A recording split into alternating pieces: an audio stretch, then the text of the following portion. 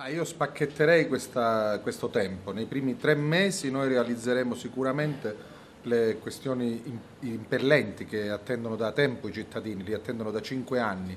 Oggi stanno assistendo alla riparazione ad esempio delle strade a sette giorni dal voto, un provvedimento che più che far piacere ai cittadini li irrita perché dimostra il disprezzo che questa amministrazione ha avuto per cinque anni potendo realizzare in un giorno quello che non è stato fatto in tutto questo lungo periodo. Noi invece lo faremo subito, daremo decoro urbano, daremo manutenzione, daremo pulizia e daremo sicurezza nei primi tre mesi. Poi metteremo mano alle tre grandi questioni che riguardano la vita della comunità cosentina nei prossimi anni. Acqua, energia, rifiuti.